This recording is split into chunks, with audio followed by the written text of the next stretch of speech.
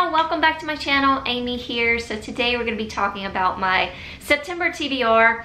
Um, it's I'm a little late to the party, but here we are. I have already started reading and have already actually finished a book. Uh, I finished Stripped by K.M. Neuhold. That was the Four Bears Construction series, book number six. Um, so I've already finished it. So that'll be on, you'll hear more about that on my wrap up.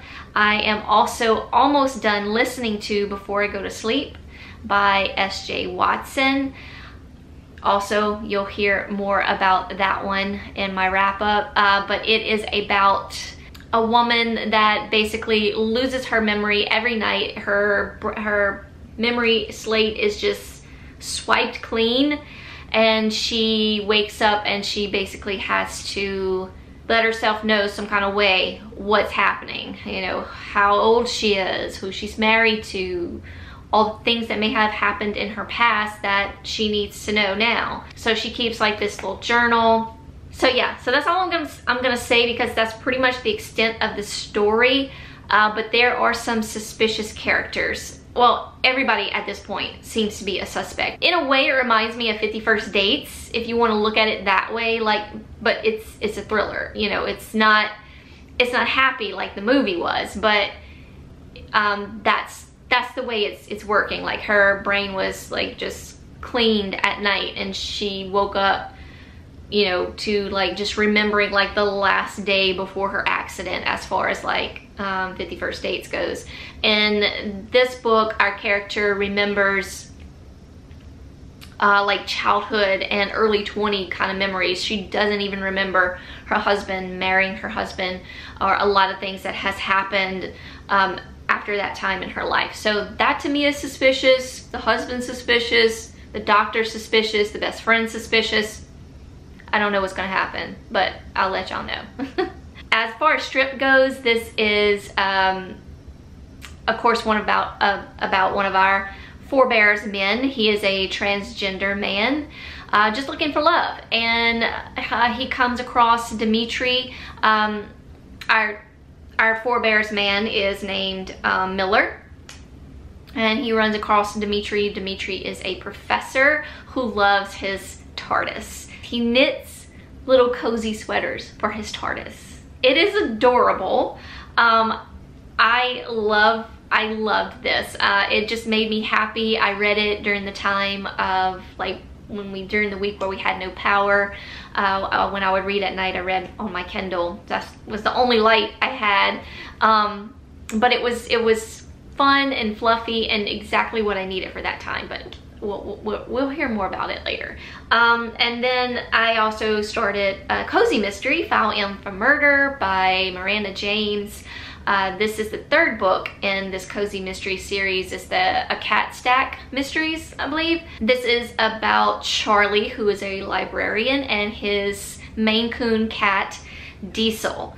Uh, he take him and Diesel go everywhere and they solve murders. Um, so in this book, his daughter is coming home uh, to take up a job at the college that um, our that Charlie works out. Charlie is a librarian slash he does like um, back archives for this college. So anyway, his daughter's coming home from Hollywood. She's like this not super famous actress, but like kind of um, theatrical play actress. So she comes home and the boyfriend follows her home and there's, you know, there's some conflict there. Um, the boyfriend ends up dying or he ends up dead and of course Laura is a suspect. So Charlie and Diesel are going to try to clear Laura's name, Laura being Charlie's daughter. Uh, so yeah, I'm about halfway, a little over halfway done with that one. You'll hear more about it in my wrap up. Okay, so those are the three books that I am, I either read or I am currently reading slash listening to. Um, moving on, we have the Literally Dead book club, which the this month's book is All's Well by Mona Awad. I don't know if I'm actually going to read this book. Um, it doesn't seem like, it doesn't spark my interest.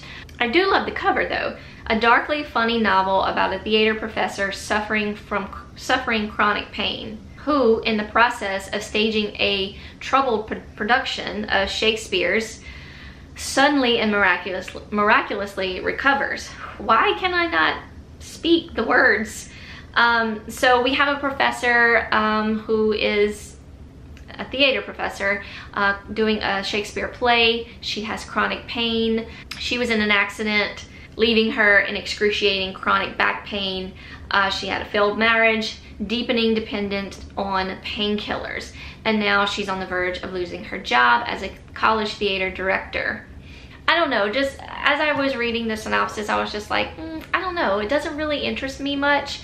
But let me know in the comments if you've read it, if you liked it, if you think I'll like it, and maybe I'll give it a go. But as for now, I don't know. Maybe I'll get it from my library. If they have it, we'll see. But let me know in the comments what you think about that book. And for the Book Troop Book Club pick of the month, it is 56 Days by Catherine Ryan Howard. I'm actually looking very forward to this book because I'm morbid like that and I love reading uh, stories with pandemic or just other like just natural disasters I I am into. I, I like reading about it. I like watching a movie about it. I don't know why. So morbid of me, but yeah, I'm I'm excited about this book.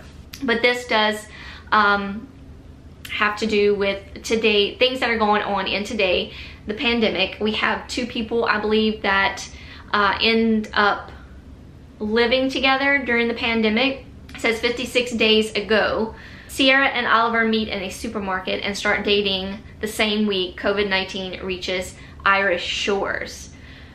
35 days ago, when lockdown threatens to keep them apart, Oliver suggests they move in together. Sierra sees a unique opportunity for a relationship to flourish without the scrutiny of family and friends. Oliver sees a change Oliver sees a chance to hide who and what he really is.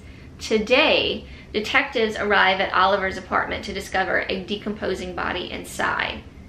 Can they determine what really happened, or has lockdown created an opportunity for someone to commit the perfect crime? So, it wasn't a very long synopsis, that's why I went ahead and I read it, but um, doesn't really give much away except that they're gonna be, and which we knew they're gonna be living with each other and something was fishy about the guy. I knew, I knew all those things. Um, so yeah, I'm ready to get into this one. I also really want to dive into Scoring with Him by Lauren Blakely. I'm just so excited to have a male-male romance that I've been looking forward to in my hands. I want to read it now. So this is book one of her Men of Summer series. There is a prequel though. I'll put a picture of it here. It is called Crushing on Him. So I do want to read this before I jump into that, of course.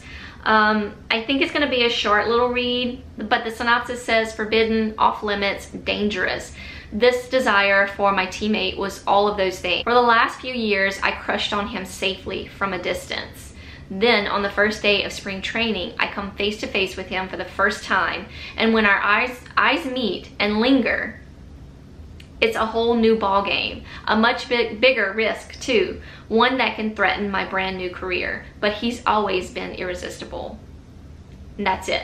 Uh, says Crushing on Him is a prequel in the Men of Summer series and it leads into the full length, full length novel of Scoring with Him.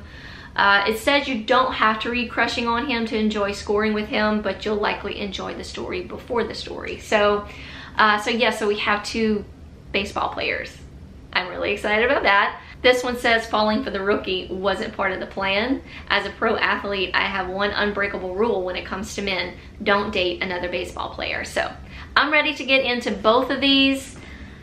I definitely want to read the prequel just because, just because. Next up on my list is The End Zone by Riley Hart. This is book two. Uh, what's the series called? Atlanta Lightning. Uh, book one was the end game. That was Wes and Anson's story. Anson was a or is a professional football player. Wes was a uh, United States Senator. Uh, great book. You'll hear about it in my August wrap up whenever I get to that to film. But this book is about Jeremy, who is actually Wes's best friend and Darren, who is actually Anson's best friend. So we meet both these characters in the first book. So if you want to get a feel of these characters, I highly recommend the first book. You will not be disappointed. Jeremy has a little bit of a past. He he is married in the first book. We'll just say that. But they have like this open relationship kind of thing. So they they have other partners besides themselves.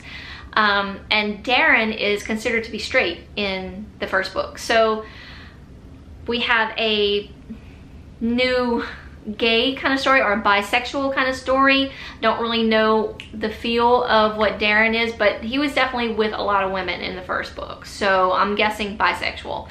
Bi-curious?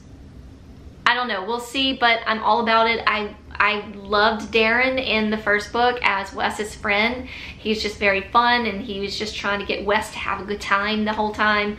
Um, and then Jeremy was kind of more in the background than Darren was as Wes's friend.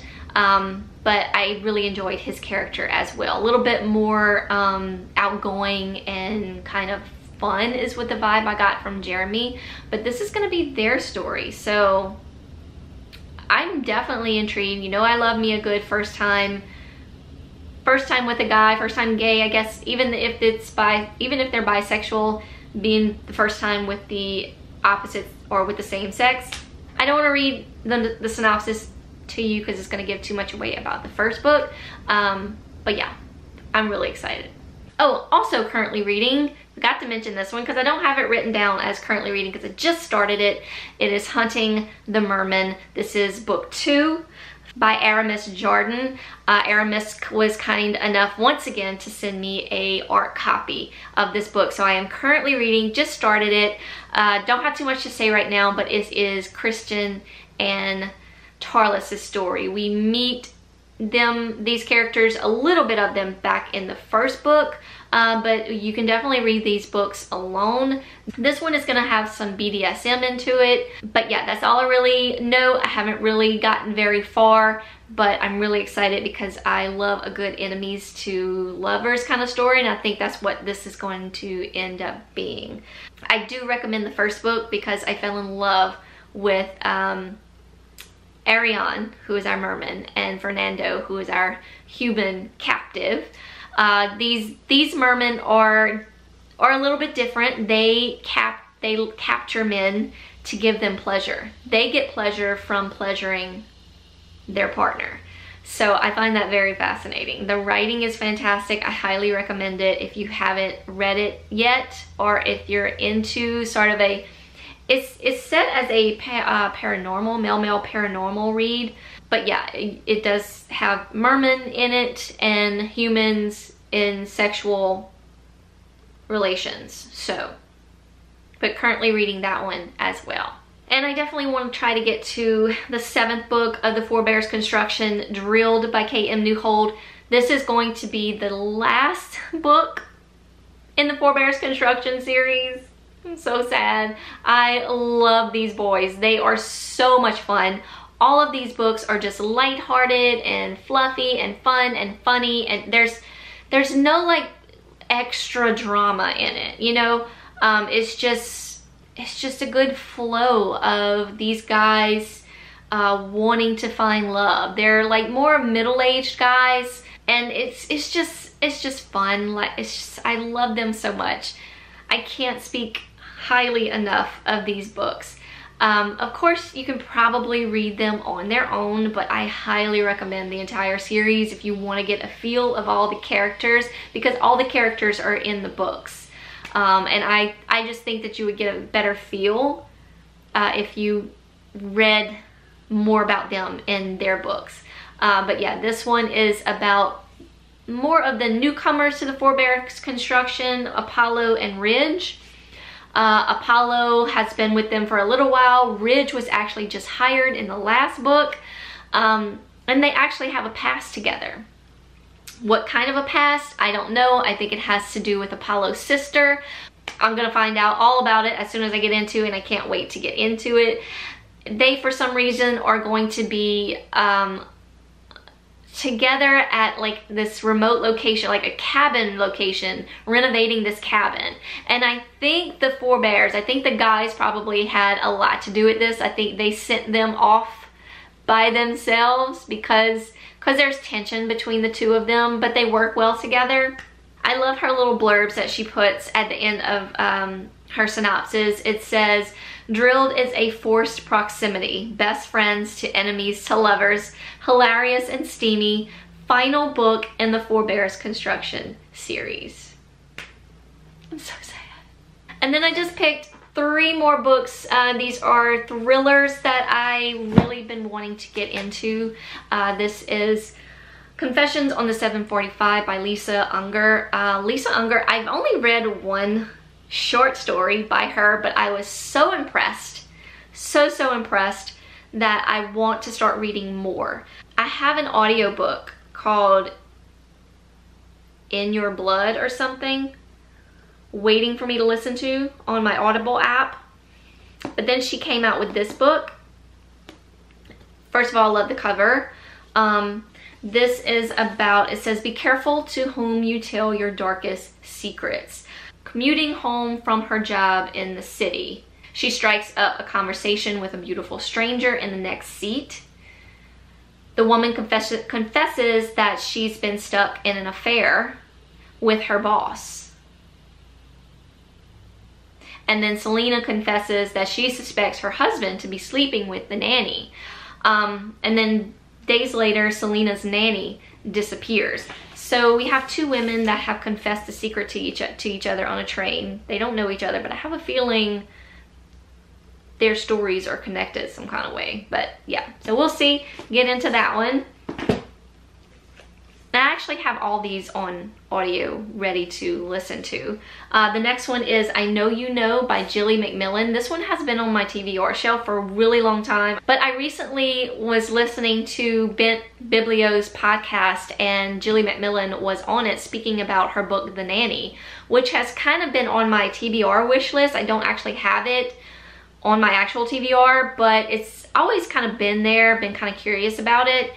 Um, so as I was listening to her speak on the podcast, one, one, I fell in love with her, the author, and two, I was like, I have a book on my bookshelf by this by this author that I need to read before I dive into The Nanny, which I may or may not have already purchased, and it's on its way. But this one says, um, the, this original chilling and twisty mystery about two shocking murder cases 20 years apart and the threads that bind them. I think this may be a little bit podcasty too. Maybe not. Maybe I'm just hoping that's what it's gonna be. Yes, so we have uh, Cody Swift. He's a filmmaker. Um, two of his best friends were murdered 20 years ago. So he starts a podcast to record his findings. It says, for as long as he can remember, film, filmmaker Cody Swift has been haunted by the deaths of his childhood best friends. The loose ends of the police investigation consume him so much that he decides to return to Bristol in search of answers, hoping to uncover new evidence and to encourage those who may be keeping long buried secrets to speak up. Cody starts a podcast to record his findings. But there are many people who don't want the case, along with cold along with old wounds, reopened so many years after the tragedy, especially Charlie's mother, Jess, who decides to take matters into her own hands. I'm not going to read anymore. That's like the middle little part of the synopsis, but I, I thought I read podcasts somewhere in that book. So, um, so yeah, uh, just by listening to her on the podcast, I was like, I, I know I have a book sitting on my shelf by her. I need to read it. So we're going to do it. And lastly, His and Hers by Alice Feeney. I uh, recently just got uh, Alice Feeney's new book, Rock, Paper, Scissors from Book of the Month. So before I jump into that, I want to read this one. I have not read it yet, but so far I have not been let down by Alice Feeney. This one says, there are two sides to every story, yours and mine, ours and theirs, his and hers, which means someone is always lying. I'm pretty sure we get the perspective from both uh, the woman and the man. I believe they're are they husband and wife. So Anna is a news anchor and she is covering a story, but the story, it says she's at the heart of it. Then we follow a detective chief inspector, Jack Harper, who is suspicious of Anna's involvement in the case. And then he soon, Jack soon finds out that he is also a suspect in his own murder investigation. Someone knows more than they are letting on. Someone isn't telling the truth telling the truth. So yeah, we get the perspective between Anna and the detective Jack um, and I guess their story of what's happening in the murder case. So excited. All right, also that is it. That's what I'm going to be reading for the month of September, along with the uh, Male Male Romances that I talked about in the beginning of this video. Once again, let me know. Let me know what y'all think about All's Well. Y'all think I should read it, or you know, throw it in there. What do y'all think? Super excited. Can't wait to see what September holds for us. How many books we'll get through in September. Uh, y'all, the year is just flying by before we know it, it's gonna be Christmas. I mean, I'm so looking forward to fall. Uh, we're, we're right around the corner, although it is still scorchingly hot over here. Although our nights have been getting a little bit cooler. Um, but I'm super excited about the coming of fall, but it just seems like it's going so fast. It needs, it needs to slow down, at least for fall, just a little bit. But thank y'all always so much for watching. Uh, let me know in the comments what you'll be reading for the month of September. Um, as always, I hope you're all doing well out there. Hugs from me all around, and I will see y'all very, very soon in a new video. Bye, y'all.